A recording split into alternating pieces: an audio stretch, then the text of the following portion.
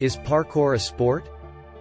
The UK has become the first country in the world to officially recognize parkour as a sport.